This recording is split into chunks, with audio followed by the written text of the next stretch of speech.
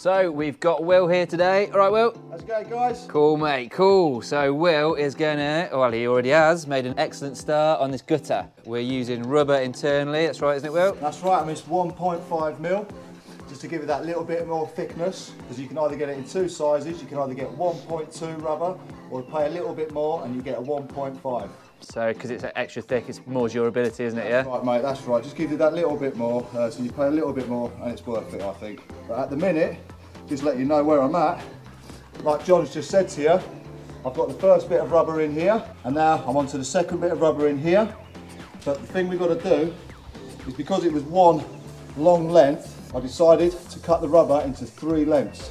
This way, it makes it a lot easier to maneuver into position instead of it being one massive long full length, making it really awkward for myself. Got the grinder going off, so wait two seconds. Well timed, Alex. Cheers, mate.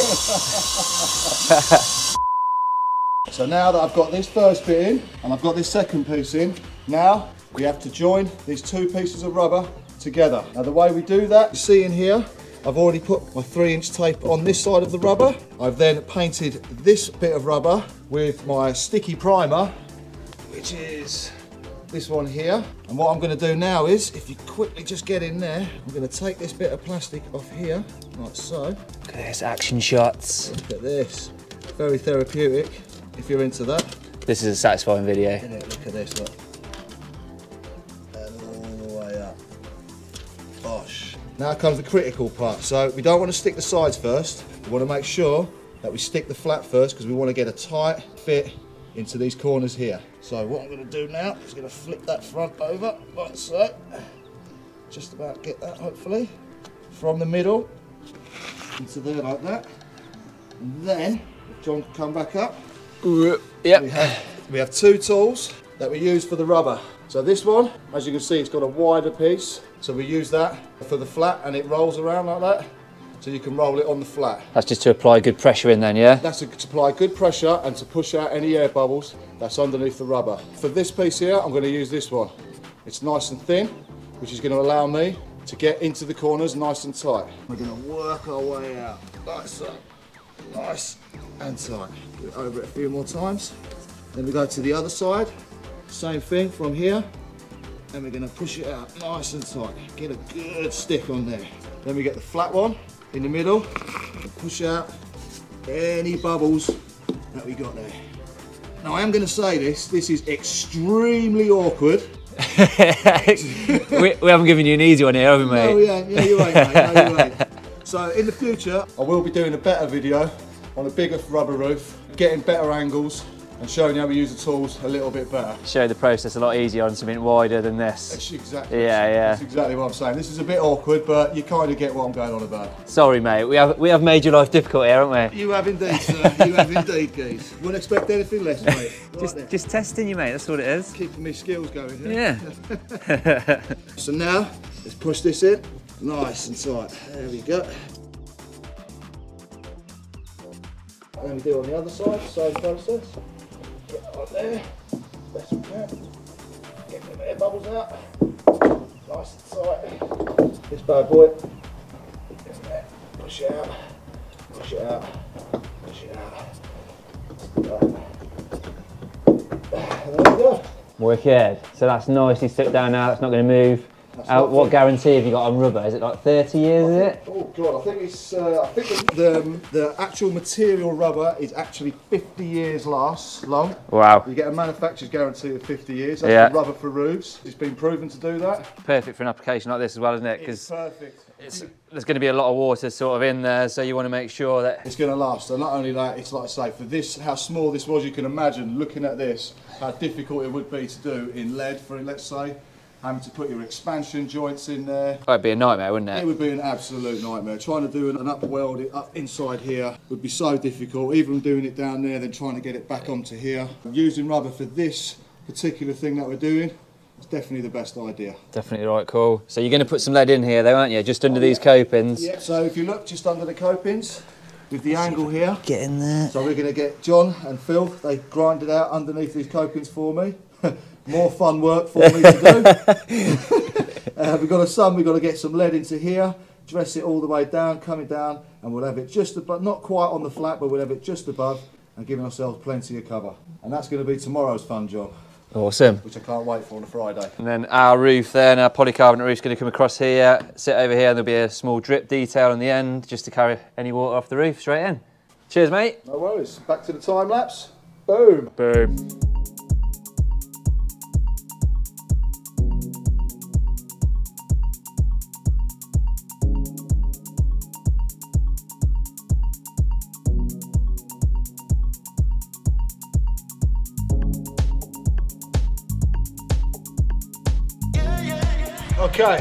So now I've got the rubber going all the way in the valley, which is very difficult, I've got to say. Not the easiest, but we got there in the end. So the next thing we've got to do is get our lead cover flashing underneath these coping stones here.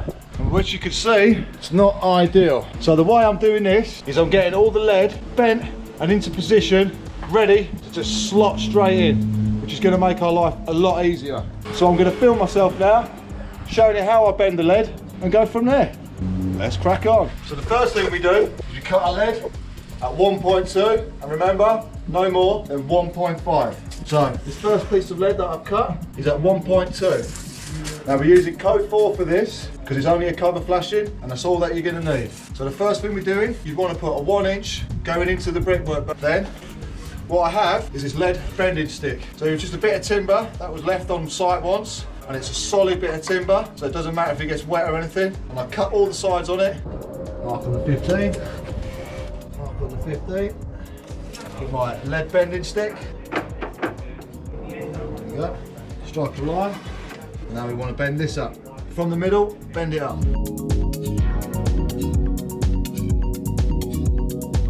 So, if you look, you can see that we've got sharp angles here, going up this way here. Then we've got an upstand going up, and then we've got to go into the course. So the first thing I'm trying to do is get a little bit of lip to go into the course. That's the first bit I've got to do. So, I'm just going to get patting away from the middle, outwards, to get this a nice straight line.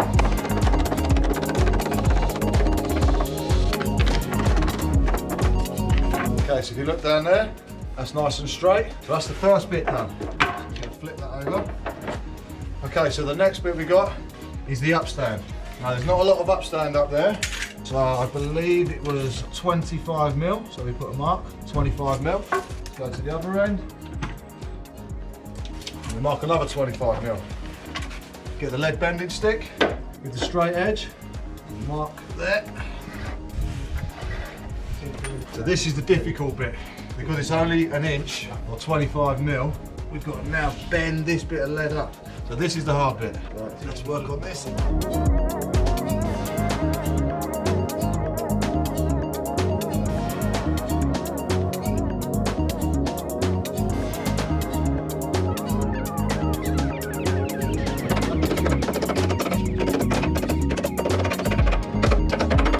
If you look now, starting to get the angle that we want. It's not quite perfect just yet, but we're nearly there.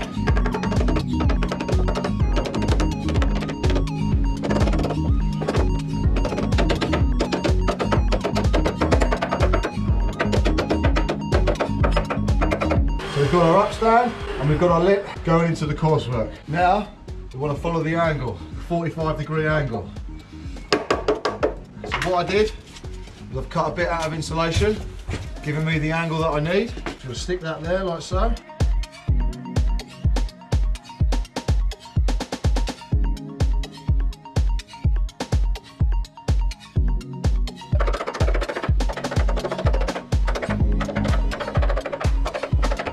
So there you go, if you look, we've now got our 45 degree angle on the lead as well. Now the next bit we've got to do is get it dropping down.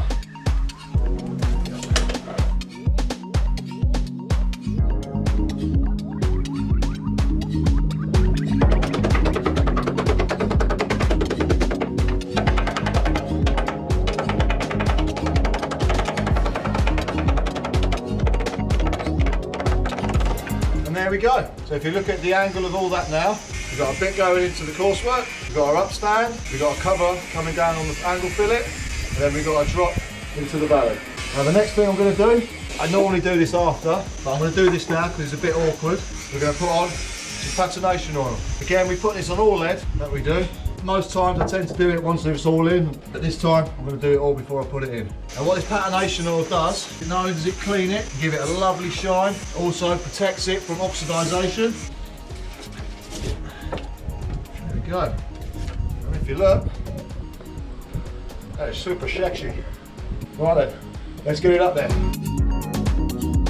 I'm going to show you now why I've moulded this lead and ready to go straight away. So what we're going to do, we're going to get underneath here, a little bit awkward, as you can see. And there's that famous word of ours, as you can see.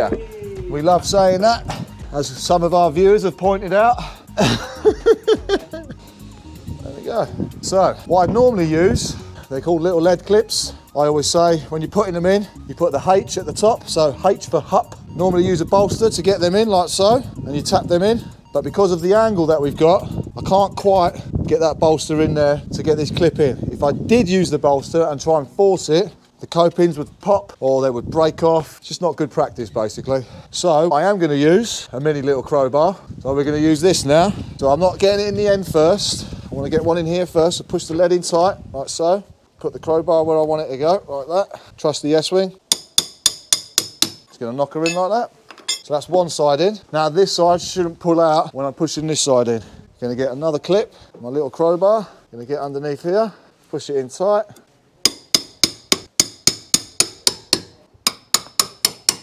So we've got one clip there, got another clip here. Because of where it is, let's put a few more in, shall we? Just to be safe. Another clip here.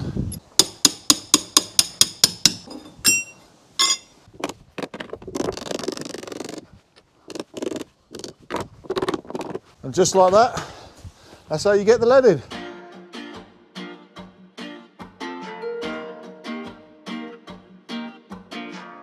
So here we are, nearly finished. We've got our lead work all the way along the top here, around that corner. And if you look at that far end, got our lead coming all the way down here. And now we've reached this point here.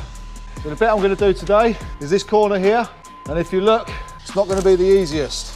What we've got to do, we've got to get some lead coming down here, up here, along here, up here, and up into there and in there. So you can see we've got multiple obstacles. We've got this corner, this corner, and this corner, which is going to make it very difficult. Now, I don't want to do this in too many different pieces, so I've decided I'm going to do this in one piece. And if you look, what I've got to do is, this piece has got to go on first, and then we're going to put a piece on here on top of that. And that should get it watertight. So, the first thing that I've got to do is get my tape measure and measure how big I want this piece of lead. Okay, so First we want to measure how long piece of lead we got. So we know we're working with 15 inch. We go an inch up there. This is going to come to about here. Okay, so we want to measure from here. So there's an inch up the wall there. We're going to come down here. We're going to want to do this, cut this piece at 500. I'm just going to concentrate on getting this area in first. So the first thing I'm going to do is get the lead and we're going to get it measured up here. So if we look, the upstand on there is two and a half by two and a quarter, which is a good fall. So let's get this lead piece made up first and go from there. Okay, first thing I want to do is get a line on here. So there's our two inches and then this bit here. So we've got to have our inch and two and a quarter and then we've got to do inch, two and a half. Get my bit of timber, line on it like that. And we've got to dress this up.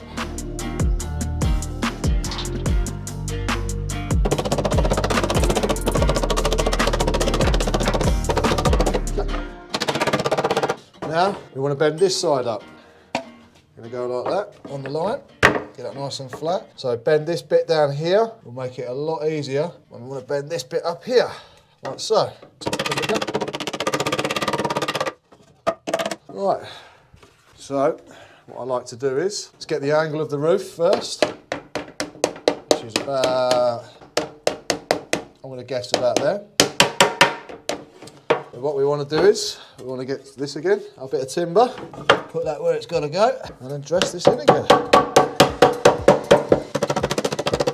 So we're nearly there. Just got this little, let's call it a pig's ear. We just got to get this pig's ear looking good. Here like that.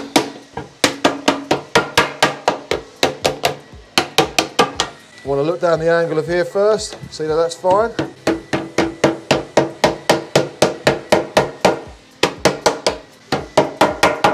So you can see the little pig's ear is gone. So that's nice and straight down there. And if we turn it sideways, so we've got a nice angle here. But if you look now, that pig's ear is on this side. So what I want to do is, I want to get this piece here and bend it round onto here. Right. So. So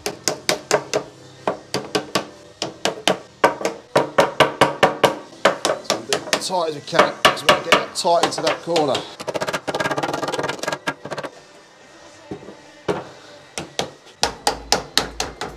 And there we go. So if you look, that's the first piece. Fingers crossed, that'll fit in there nice and perfect. And then we can cut this and get this around the corner and go from there. So let's get up there and see if she fits. Right, so we get that just in there like so.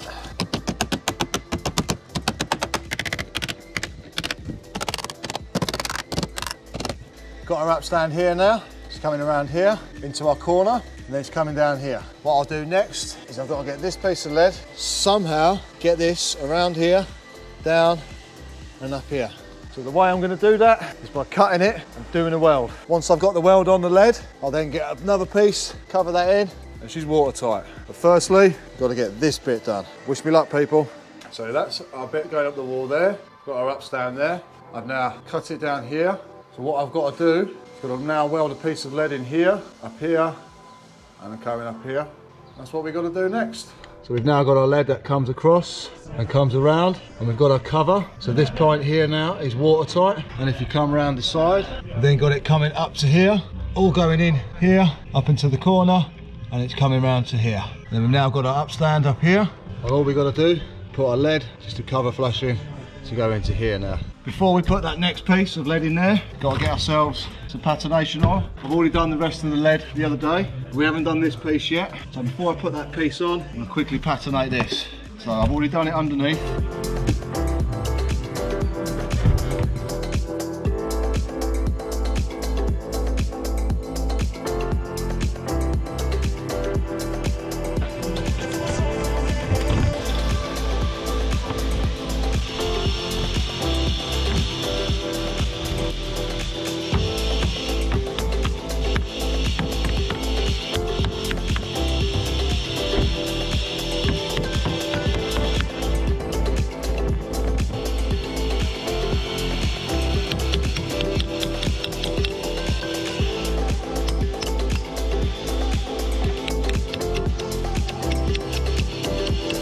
So now that we've got all the lead in, all the way down, the next job and the last job is we've got to point it all up. So what we've got to do is we've got to get some muck into this joint all the way along down there. And once we've done that, it's going to be finished.